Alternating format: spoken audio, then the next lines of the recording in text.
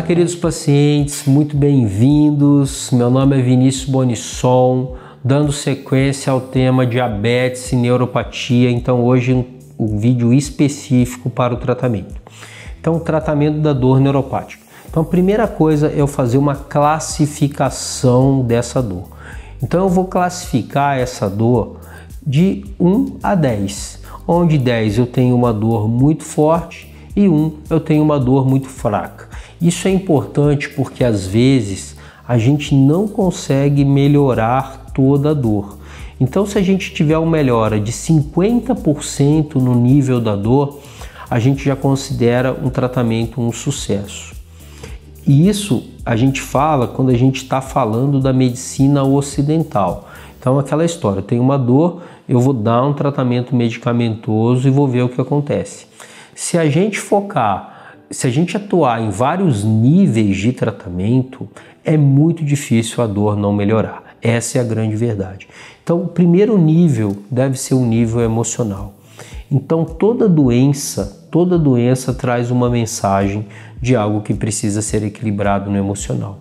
E se eu consigo, através de ajuda profissional ou não, a verdade é que a grande maioria das pessoas precisam de ajuda profissional. Só que muitos não admitem isso ou criam uma série de justificativas para não procurar ajuda.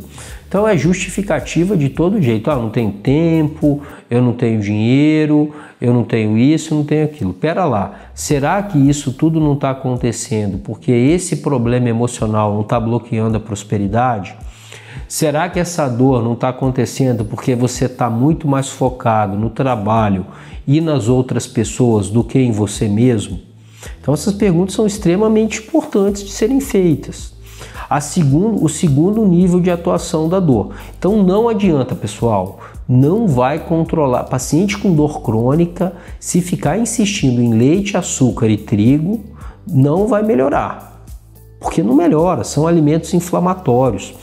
Por exemplo, esses, o leite, por exemplo, aumenta em 50% a quantidade de muco nessas lesões. Então, essas dores crônicas, elas têm um monte de fatores, fatores neurológicos, fatores locais, incapacidade de reparo, má vascularização, má irrigação eletromagnética, tem um desequilíbrio eletromagnético nesse local.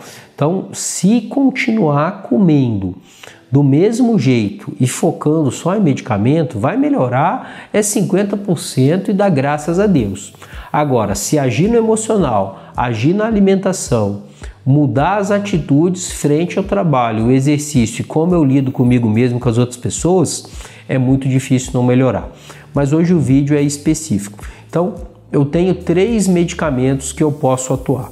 Primeira classe de medicamentos, a mais antiga, extremamente eficiente, mas com muitos efeitos colaterais, principalmente diminuição da saliva, o que é importante para mastigação, para digestão, por isso que o sintoma mais problemático é a boca seca, são os antidepressivos tricíclicos, a amitriptilina. É um medicamento extremamente barato que é doado pelo governo. Precisa de receita especial para comprar. Não adianta, não compra sem receita, não compra sem acompanhamento médico. Existe uma nova classe de medicamentos antidepressivos que o grande representante é a duloxetina, tem de 30 miligramas e de 60 miligramas, que também tem um efeito muito bom para a dor neuropática do paciente diabético, com muito menos efeitos colaterais.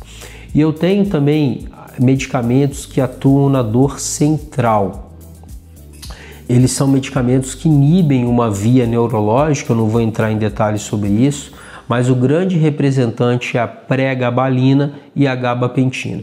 Então, esses três medicamentos são medicamentos que vão agir nos sintomas da dor neuropática, ok?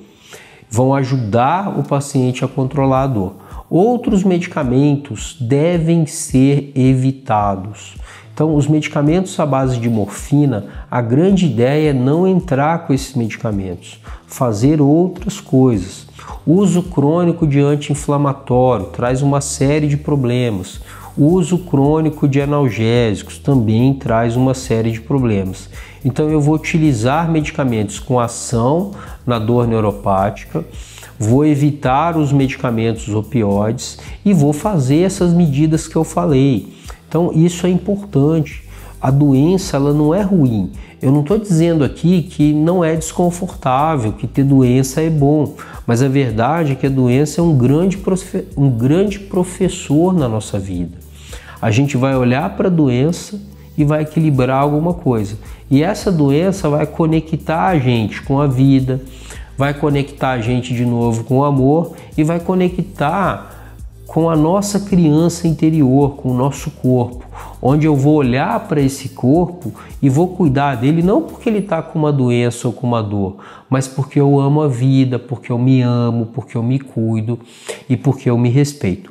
Esse é o nível de consciência necessário para eu resolver uma doença, para que essa doença perca força. Se eu foco na dor, se eu foco na doença e vivo para tratar a doença, a doença ganha força. Se eu foco na vida, se eu me amo, se eu estou sempre aprendendo, se eu estou trabalhando e eu tenho a capacidade de criar algo novo, melhora muito. Não só a dor neuropática, mas a pressão alta, o diabetes, a depressão e todas essas doenças, a obesidade e todas as doenças que vêm junto. É por isso que eu sempre desejo para vocês muita criatividade para fazer algo novo, muita força para vencer o hábito antigo e deixar o que está te fazendo mal no passado e sabedoria para que você possa estar sempre aprendendo, sempre melhorando e sempre sendo uma pessoa cada vez melhor. Era isso que eu tinha para dizer. Tomara que vocês consigam resolver esses problemas dessas dores. Um abraço e até o próximo vídeo.